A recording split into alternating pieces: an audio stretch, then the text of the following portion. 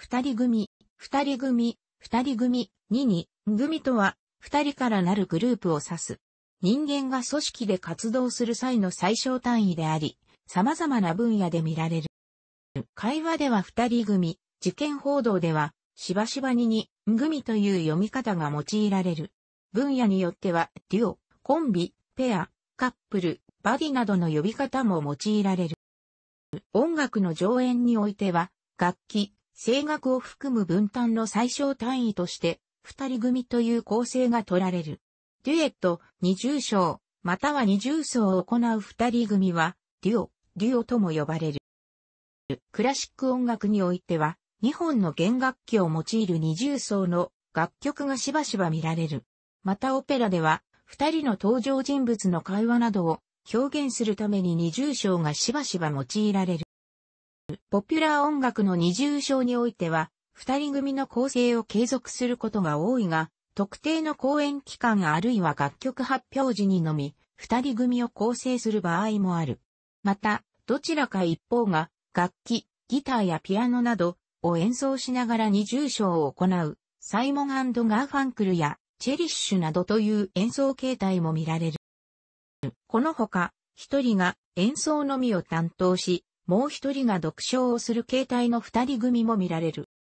20世紀中盤以降のポピュラー音楽においては、主要メンバーが二人組で、他の人、サポートメンバー、スタジオミュージシャン、ゲストミュージシャンなどを加えて、多様な楽器を用いた楽曲を奏することが多い。アクセス、ビーズ、ドリームズカムトゥルーなど。ミュージカルやポピュラー音楽の制作においては、作詞と作曲を分担する二人組が、しばしば継続的に活動することがある。よく知られた例としては、アメリカのミュージカル分野で活躍したロジースハマースタイン、夫婦で活動する、アギヨーコ、宇崎竜道や、木杉悦子、木杉隆夫指定などが挙げられる。二人でコンビを組んで活動するコメディアンは数多く存在する。相反する性質の対比で笑いを誘うケースが多い。世界的によく知られたコンビは、その多くがアメリカのコメディ映画に出演したものである。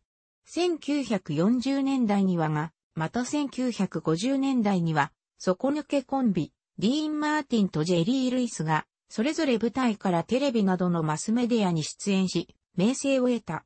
1970年代には、ジョン・ベルーシュとダン・エイクロイドが、テレビ番組サタデーナイトライブ内のスケッチで、ブルース・ブラーズと呼ばれるコンビ、実際には他の楽器を含むバンド構成を結成し、これをもとに同名の映画、ブルース・ブラザースも制作された。日本では俗にボケツッコミと呼ばれる二人のお笑いタレントによってコンビを構成する漫才が一般的である。海外ではコメディアンの二人組がデュオと呼ばれることもあるが、日本ではコンビ A、コンビネーションの略という故障が浸透した。日本の漫才に分類される二人組については、漫才師一覧を参照。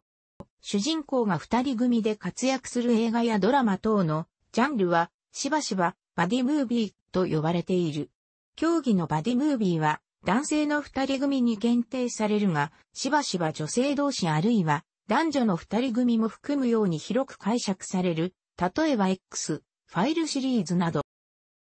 特によく知られたバディムービーとしてはアメリカのリーサルウェポンシリーズ、フランスのタキシーシリーズが挙げられる。日本でも危ない刑事や相棒などがテレビドラマの好評に伴って映画化された。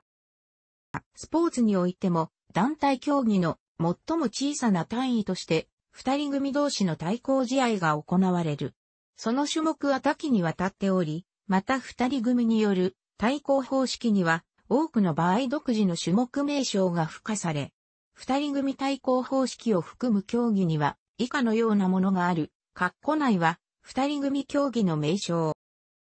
音楽以外の芸術創作の分野においても、継続的に二人組で共同作業を行う例がしばしば見られる。またその場合、しばしば著作者名として共有筆名を用いることがある。項も参照。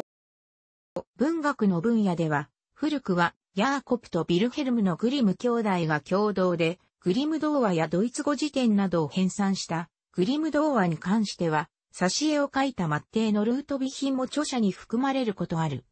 アメリカの著名な推理作家、エラリー・クイーンは、フレデリック・ダネーとマンフレッド・ B・リーの共有筆名である。漫画の分野では、特に日本の藤子不二雄が、藤本博士と阿ビ子元の共有筆名として著名であるが、実際に共同で漫画を制作したのは、経歴のごく初期の頃である。夫婦での継続的な共同制作では、新谷薫、佐伯かよのや広金健二、サイモン文などが有名である。共有筆名で活動する兄弟としては、室山真由美や前田理想などが挙げられる。アニメの分野では、日本の脚本プロダクションスタジオオルフェ所属スタッフの黒田洋介、現取締役、倉田秀幸両人による地獄組、現在は解散や福田土の突王、両沢千秋夫妻のような例がある。映画の分野では、アメリカの公園兄弟やウォシャウスキー兄弟、指定が継続的な共同制作を行い、成功を収めている。犯罪史においては、共同で凶悪犯罪を繰り返したボニーとクライドなどが知られている。また、最近では、スパイ、諜報活動ネタも取り込んだ、匿名刑事をメインテーマとするスーパー戦隊シリーズ第36作、匿名戦隊、ゴーバスターズや、複数のアニメ制作会社が、特撮ないし実写作品に制作参画した例のケースでもある。携帯捜査官7では、可変機構を有する機械が、バディ、相棒等という設定を採用していることでも注目、集めている。